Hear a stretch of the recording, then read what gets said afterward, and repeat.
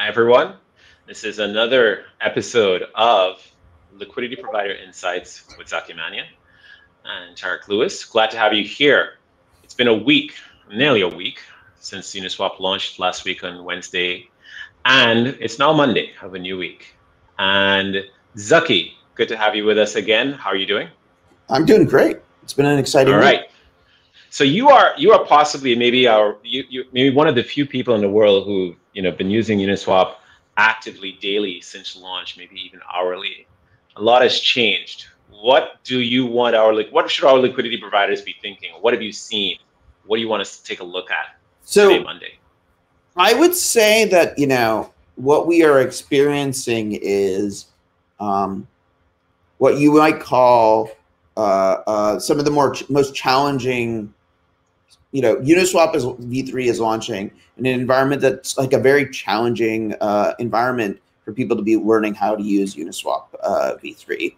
Uh, and so on one hand, it's like uh, uh, we are, uh, you know, it's like, oh, it's you're you're gonna it's it's a confusing time. On the other hand, uh it's a great opportunity for us to learn like what this new thing um, has to offer.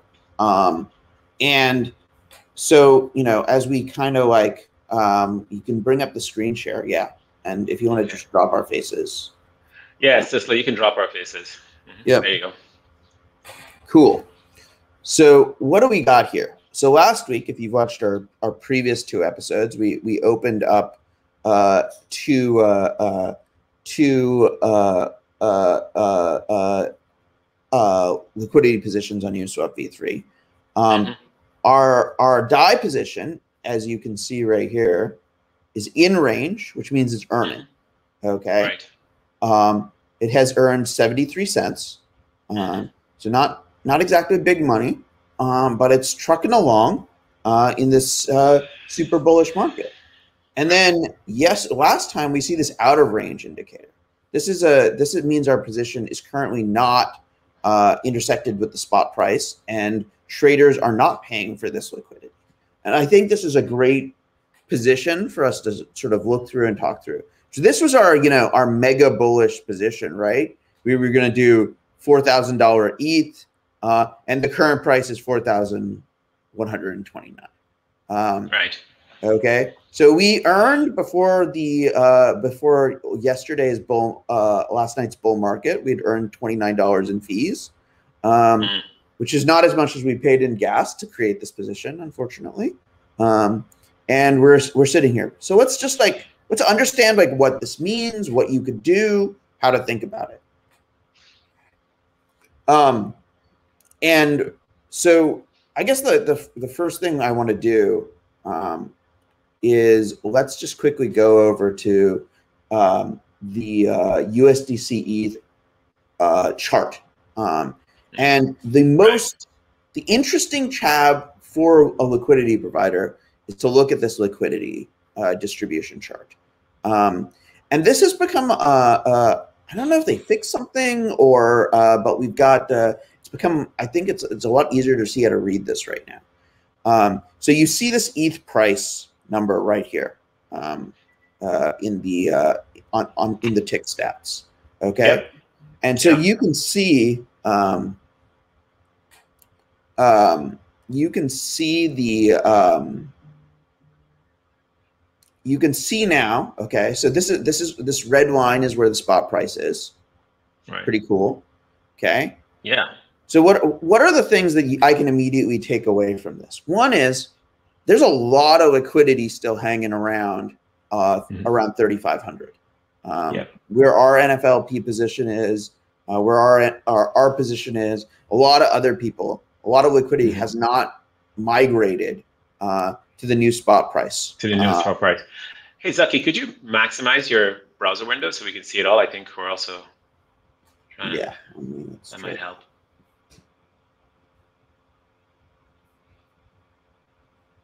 How's this? Yeah. Yeah, mm-hmm. that's better. Zoomed in a little bit too. Okay. Okay. Oh, this is much easier to read now. Oh, wow. Yeah, you can see a lot. Okay, cool. Yeah, yeah. Mm-hmm. All right. Yeah. So what what are we seeing? So again, right here, spot price. we see a lot of liquidity is hanging around the uh, uh, the sort of trading range of the last week has, has not followed the spot price up. Um, and there's um, there's a lot of liquidity all the way over here at uh, all the way out to um, uh, seven thousand dollar ETH before it drops. Yeah. Got Um, so what is a what what is a um, what is a liquidity provider to do with uh, with the current situation? You know, they were they were sitting here earning money uh, yesterday. Um, Yeah. it's going to be real interesting to see this how this chart evolves over the next couple of days, right? Right. How many Right. people are going to? How much of this liquidity here?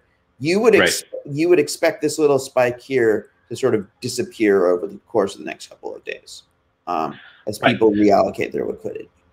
And a quick question for you, just to make sure we understand how Uniswap works, that liquidity providers should know is that once the once uh, prices moved out of range from the 3,500 to the 4,000, they now only have one token.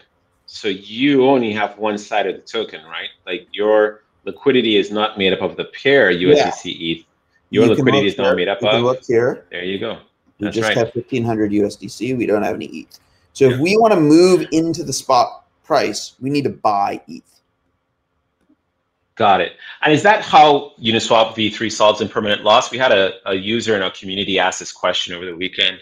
You know, um, you know, how is impermanent loss solved with Uniswap v3? And I'm just curious whether it's your thought that moving users once they've come out of range into the one side essentially ends their risk for impermanent loss, even though now they may only have US, you know, that USDC holding. Yeah, I mean, it sort of is a, you know, impermanent loss is not eliminated by really any solution. It is Mhm. moved, mitigated, traded, limited, all of these things. Um, Right. and so basically, you knew we knew we, we knew that we were going to s- essentially sell all our ETH. We were going to be completely out of our ETH um, by the time if ETH cost four thousand. Um, uh, and at this point, we hold entirely USDC. Um, and if we want to regain exposure to ETH, um, and the I, the idea would have been, you know, you could have gone on another DeFi protocol and gotten long exposure to ETH. Um, Right. if you wanted to uh, mitigate this uh, uh, this loss. And the idea Yeah. of capital efficiency, et cetera, is that you know you could be you can be doing both. Um, And and if I needed to move from US to buy more ETH, that's gonna I'm that's gonna cost me. So I have to go back to my uh, Yeah. so, Right. like, if we so you know what are what are the things that can ha- how can this position change over time? One is Yeah. you know uh, uh, the spot price could move back down. Uh, Right. If spot price moves back down, um, will essentially be will you know ETH will be sold into the pool. Um, right. and uh, you'll be getting your uh, uh, and we'll start earning fees again. Mm-hmm.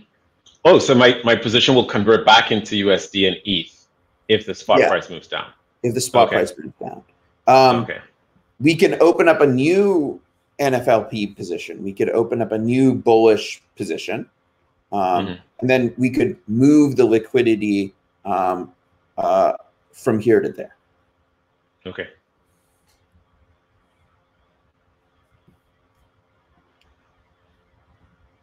What's your thought so far on the volumes and the activity that's Yeah, let's let's let's so look far? through this tab, right?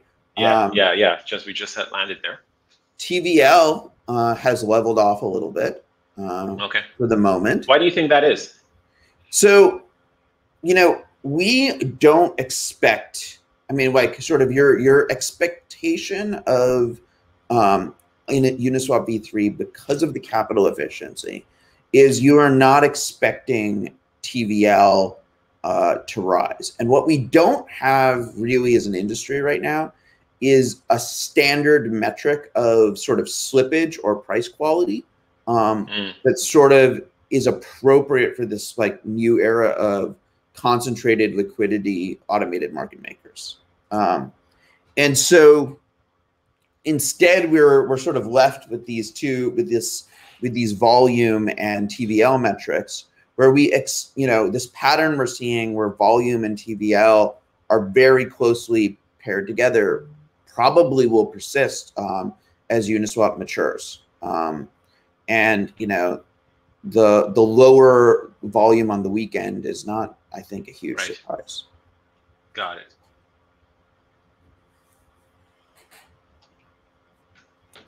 But yeah, I mean, I think to a large extent, you know, I think I th- I think the biggest outstanding question on Uniswap v3 is what's going to happen here. Um, are people, you know, I would say that like you know my workflow here would probably be uh, if I was going to open up a, a, more bullish position, I would open up a uh, more bullish position with a smaller amount of funds, uh, and then think about migrating liquidity into it and make you know the the thing to remember is regardless of what you do, this position doesn't go away. Uh, you can remove liquidity, add liquidity. You're not burning the position. Um, the position is the amount of liquidity in the position is dynamic over time. Got it. Got it. Got it.